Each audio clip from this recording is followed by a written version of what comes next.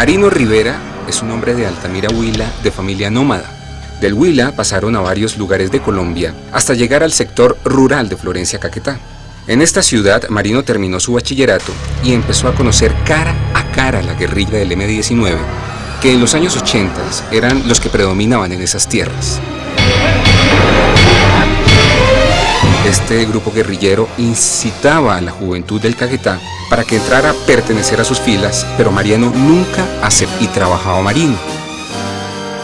Con esfuerzo, este hombre montó un restaurante y las FARC le pedían una cuota económica para que el restaurante pudiera funcionar sin ningún problema.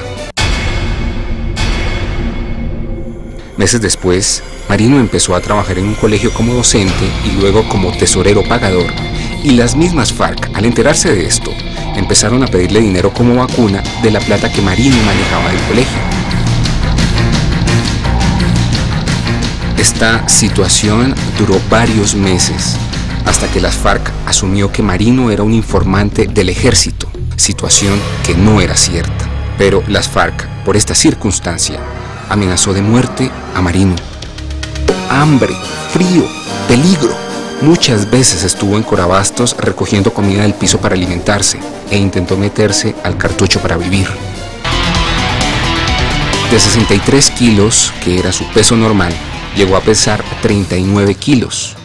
Cansado, sin un camino que tomar, sin una mano amiga y perdido en un mundo oscuro, triste, amargo y sin salida. Pronto amaneció y su vida cambió. Lamentablemente, como una de las tantas historias en nuestro país, hoy el protagonista de mi nuevo yo, Marino Rivera, está con Vamos nosotros. con un aplauso. Bravísimo, Marino. Gracias. Qué tesón. Bienvenido. Muchísimas gracias a ustedes por la No, invitación. al contrario, Marino, Ah, gracias por estar con nosotros. Dura historia, ¿no? De tantos miles de colombianos que han padecido su historia. Sí. Eh, ¿Hace cuánto fue eso, Marino? Eh, hace casi ocho años yo llegué a Bogotá a finales del 2004. Sí. Pero vamos a irnos un poquito más atrás, Marino, vamos a recordar la historia tuya porque tú, a pesar de todo el tema del conflicto, de la guerrilla, tú llevas una vida, digamos que normal. Trabajabas en el colegio, recibías tu dinero, estabas a cargo de mucha gente. ¿Cómo era la vida en ese momento? ¿Y qué comenzó a pasar? Bueno, eh, finalmente lo que hago yo es eh, eh, vincularme a una institución educativa. eh, como cualquier colombiano, trabajaba, tenía mi empleo. mm, ¿En qué parte estabas exactamente? En Florencio En Caquetá. Florencia, correcto. Florencia Caquetá. Sí. Estábamos en una zona entre Neiva y Florencia, que era una vía, la, vía, la, la única vía que había. Sí. Y pues allí digaba que desempeño mis labores como, como auxiliar administrativo también de un colegio técnico agropecuario donde yo había iniciado mi trabajo, mi- mis estudios. Sí.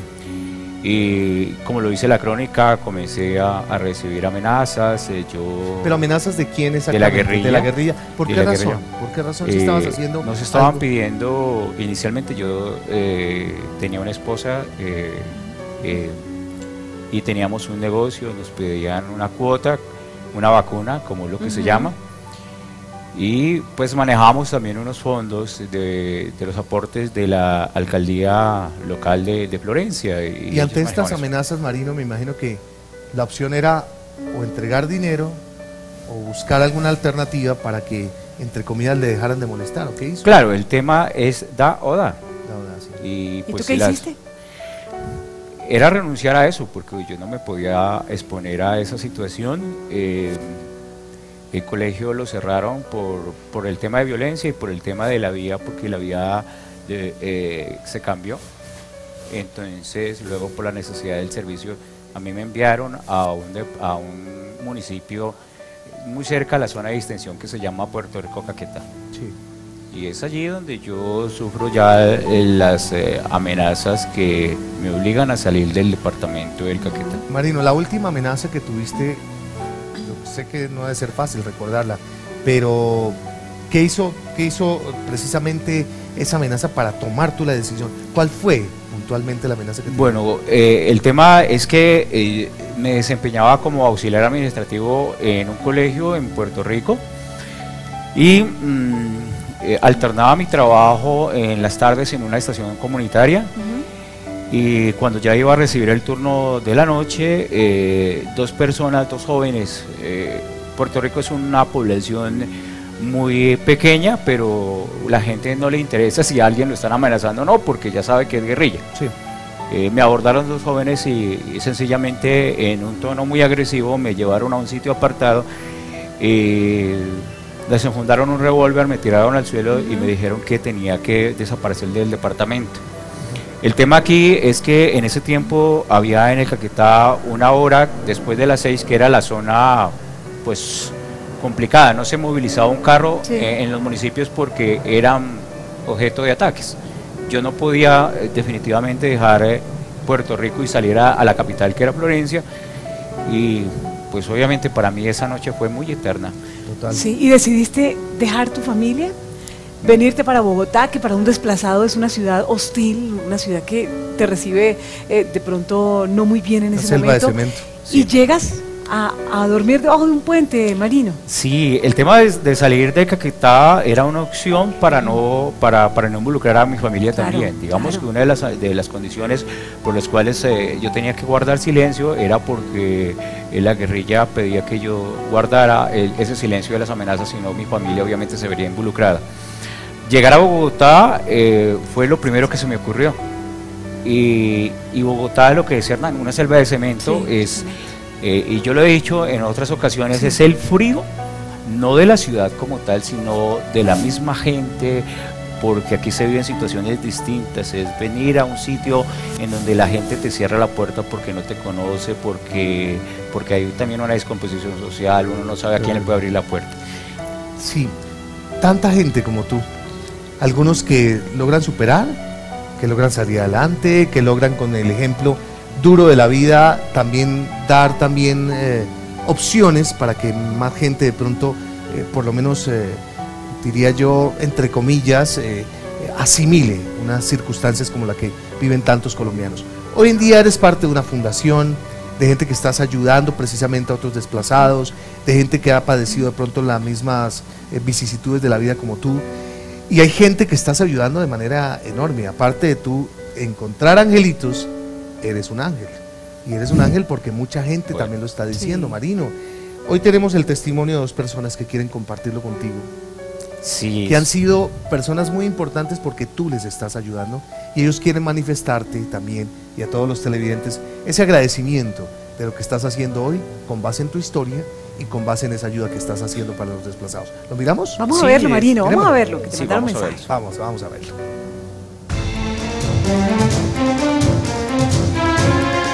El hermano Marino Rivera para mí es una gran persona que cuando yo llegué desplazada de mi tierra, él me recibió con mucho amor. Una persona que yo siento que él me ha protegido. Eh, yo siento que él es como ese hermano mayor que me recibió en su, en su fundación y me lo ha dado todo. Para mí, hermano Marino, yo me pongo enferma, él me lleva al médico, me colabora, yo lo quiero él mucho, como fuera mi familia. Mire, la primera cualidad es que él es muy noble y él le hace el bien sin mirar a quién. Segundo, es un hombre muy humilde, inteligente, y lo trata a uno divinamente bien. Y a él yo lo quiero muchísimo y yo lo ayudo a él lo más que yo pueda y todo. Y yo, yo soy la que lo acompaño a él en este momento. Él es una persona que está manteniendo esta fundación a pulso. Es un hombre emprendedor, cariñoso. El mensaje más hermoso que yo le puedo dar a él, yo lo quiero mucho.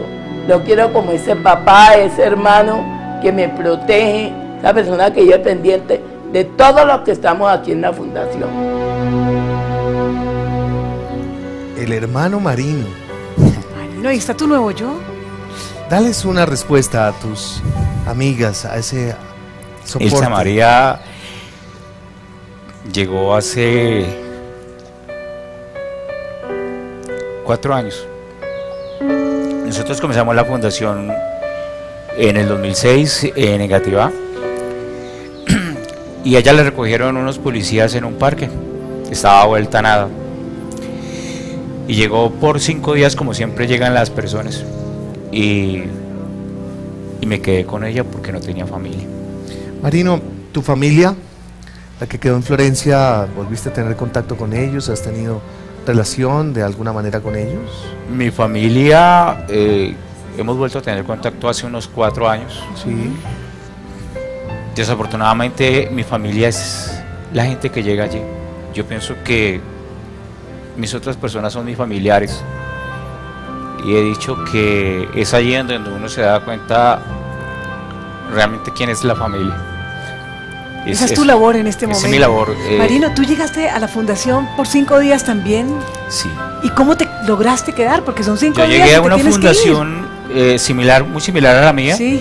eh, y llegué a final, a- en el 2005 eh, y me dijeron tres días, era un viernes y, y el domingo tenía que salir. Y después eh, de estar en esos momentos difíciles, estar en la calle, yo dije, esa es mi oportunidad de vida. Sentí que era mi oportunidad de vida. El domingo ya estaba cocinando para todos. Estaba feliz haciendo, pero de- decía, bueno, ¿qué hago? Claro. Y, y sí, afortunadamente me gané la oportunidad. Duré seis meses en esa fundación en donde me dejaron encargado. Y, y nada, pues eh, yo ya sabía cómo se hacían las cosas y, y como no volvieron a pagar el arriendo, los señores que estaban eran los dueños de la fundación, pues yo decidí crear lo que es hoy Fundación Colombia Nuevos bien. Horizontes. Fundación Colombia. En este remate de este Mi Nuevo Yo es importante que tú le manifiestes a la gente cómo puede colaborarle a una fundación donde yo como colombiano también me siento comprometido en ayudar a mis paisanos que viven la guerra todos los días. Y este tipo de fundaciones están haciendo un gran propósito. ¿Cuál es el contacto con la fundación que en este momento tú coordinas también? Tenemos una página web. ¿Cuál que es? www.colnuevoshorizontes.com Despacito, por favor. Www.colnuevoshorizontes.com Que ahí entran, acceden a toda la información. acceden a toda ¿Y, la información. y hay algún teléfono fijo en, en Sí. Bogotá? En Bogotá 577 Sí. 1729, eh, celular 313 277 0878. Nos pueden buscar en la red como Fundación Colombia Nuevos Horizontes Muy bien. y, y nos van a encontrar ahí. Marino, eh, estamos con cierto aroma de paz. Cuando hablo de aroma de paz es que eh, el gobierno está tratando de conciliar un poco, de hacer acercamientos con eh, eh, los grupos subversivos, con el terrorismo y demás. ¿Tú tienes eh, esperanzas de que esto pueda suceder en algún momento? Yo pienso que como todos los colombianos tenemos esperanza de que haya paz porque esta es una guerra injusta. E inútil. e inútil, que no tiene ningún sentido. Finalmente los colombianos a- de a pie son los que estamos sufriendo por esto. Muy bien. Entonces yo pienso que las esperanzas las guardamos y, y- y qué bueno que, que- que ojalá algún día hubiese paz. Ay, Marino, qué Muy bien, Marino labor. Rivera de la Fundación ¡Bravísimo! Colombia. Un aplauso ¡Qué grande! Marino. De verdad, un placer. Permítame, yo le doy un abrazo Qué bonita labor, de, Gracias. por su labor, por su historia. Le tenemos un obsequio, como solamente un, un regalito, un cariño de Bravísimo para que usted lo comparta de pronto con la fundación. Que son esas cosas? El kit de City TV para usted, la gorra, la cachucha y para que se tome su cafecito en las mañanas. Y también esa vajilla, ese procesador, perdón, esa licuadora, esa tostadora y esa exprimidora de jugos es para que usted la comparta en la fundación con sus compañeras, con sus hermanitas. Y qué mejor que sepa que tiene aquí un apoyo de Mónica, de todas las niñas, de todo nuestro programa, porque nunca olvidaremos a los colombianos y sobre todo cuando pasan este tipo de cosas. Sí, gracias a ustedes por la invitación. Eh, las puertas están abiertas. Hay muchas Igualmente. maneras de ayudar, solamente falta corazón. Vale, muy bien. Muy bien, en un Bravísimo, momentico, bravísimo, Moni, Marino, sí, bravísimo, señor. claro que sí, Sí, en un momentico